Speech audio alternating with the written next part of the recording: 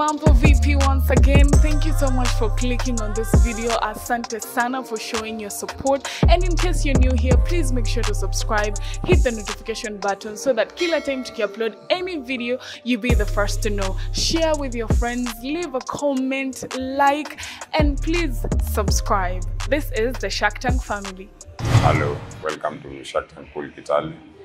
Um, here we not only sell pool tables and offer pool games and selling other pool accessories, but we also want to help you take your game to the next level.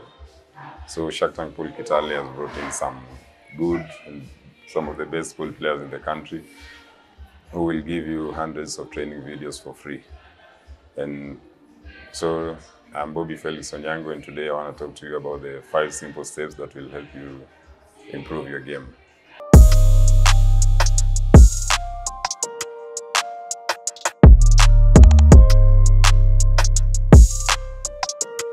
Number one is uh, practice. And in practice, doesn't just mean uh, hitting balls on the table. Practice, all practice should have a purpose. So you should practice on the areas where you're not good, like mechanics and patterns. Try to make sure your practices uh, see your weaknesses becoming strengths.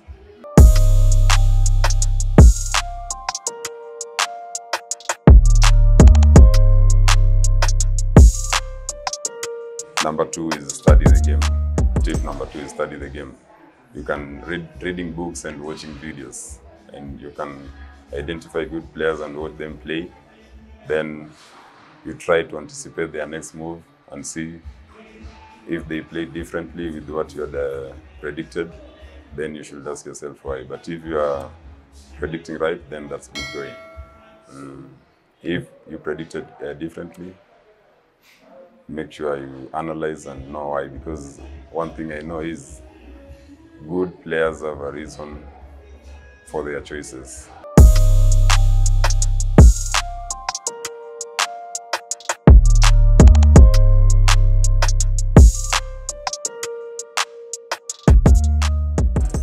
Then number three is you find a mentor. A mentor means must, uh, must not necessarily be from a foreign or even local mentors. Uh, Because in every pool hall you go, there is someone who is more decent than you and who knows more than you. So you can ask them questions and offer to play sets against them.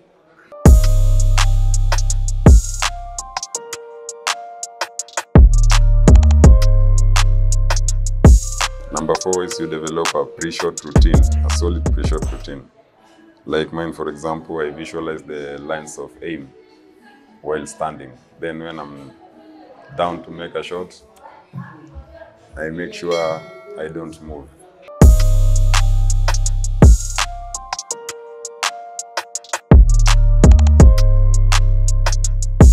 Then number five and last is compete.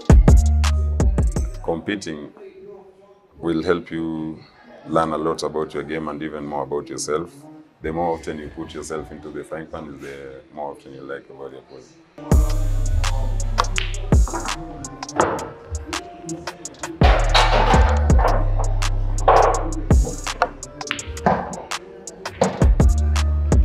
Hello guys, hope mko poa.